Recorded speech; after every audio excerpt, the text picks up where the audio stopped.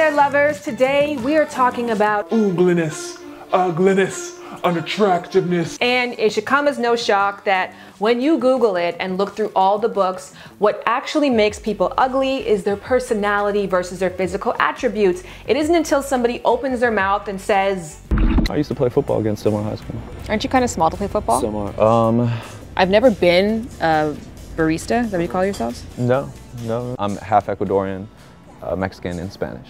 You must be like the richest person in your family then. Ah, that, that's weird.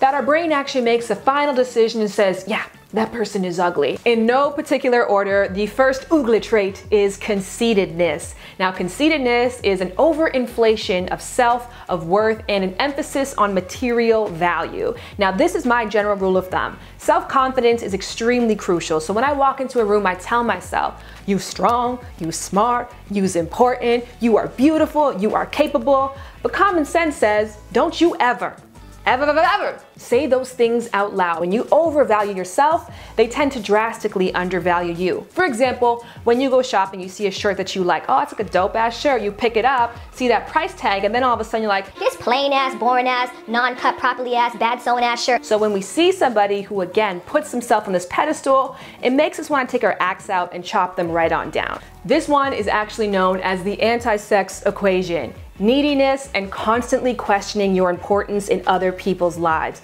Now, a needy person has told themselves that they are not enough and they want to fill that gap with other people's opinion of themselves. So, they are constantly on the prowl for attention, affirmation, acceptance, things that we all inherently want, but when desperation is attached to that, it creates the exact opposite effect. Because of the fact that we are a cooperation based society, you scratch my back, I'll scratch yours, everything is cool. When we're around somebody who needs from us and who wants from us, it creates a repulsion. So, in effect, the person who is needy tries harder and that pushes them further and further away from the goal and people. In the spirit of number three, I'm gonna keep this one short and sweet. A very oogly quality is windbaggery.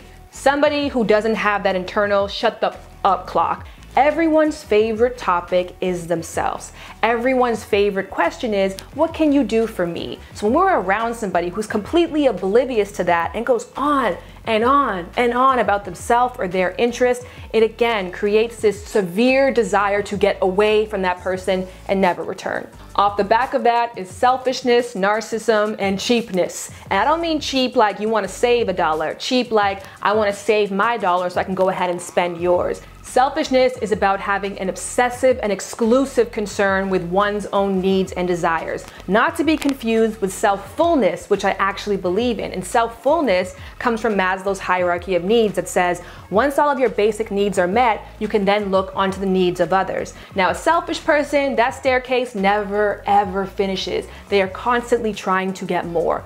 And last but not least is grimness somebody who lacks luster for life, lacks compassion for others because they fail to see the good in the world. Now, a grim person isn't necessarily a clinically diagnosed depressed person, but just somebody in general who complains a lot. Now, if you sense you might be on the grim side, perhaps it's a part of your sense of humor, I would definitely try to be mindful of that because while a little bit of self-depreciating humor and negativity and sarcasm can be good, a lot of it can be extremely repulsive. And here is a basic and very simple cure if you do err on the side of grim.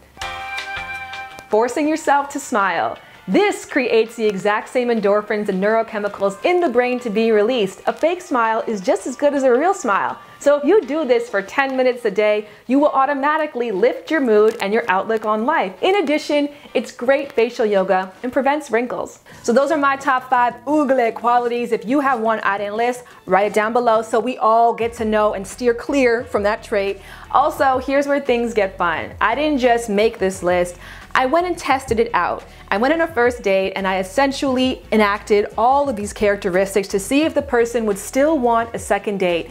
So this is all a part of Shan Boody is Your Perfect Date Season 2. If you guys recall, Season 1 is where I went on 10 first dates without the help of hair, makeup, and wardrobe to see if I could create 10 strong connections with complete strangers. That season was a massive success, so we went on to Season 2 where every episode I'm trying out a different psychological experiment. On the first episode though, which is up right now, I did exactly what we just talked about. I made myself into my date's ideal physical type, which happened to be the actress Priyanka Chopra. But on the flip side, I made myself the opposite of the mental type. I'm half Ecuadorian, uh, Mexican, and Spanish. You must be like the richest person in your family then. Ah, that, that's weird. That's a weird thing to say. Oh, sorry. I didn't mean to make you feel weird. I was the first to go to college. That's amazing. That yeah, that makes sense. Wasn't the first to graduate though, What does that mean? because I didn't graduate. Oh, okay. Did the weed get in the way of that? So you guys can actually go and watch how this date went down. If you guys recall from season one, the guys on these dates thought they were on a blind date show. They didn't realize that I'm a trained professional and I was there to mess with them in copious amounts of ways. So his reactions were insanely priceless. If you go to full.sc slash shanboody right now, you can get a one week free trial on full screen. It's a streaming service like Netflix or Hulu. In addition, if you are an AT&T customer, you get one year for free. My name is Shan Boody, and I have over 10 years of experience as a sex and relationship educator. Last season, I gave you some universal bonding tips.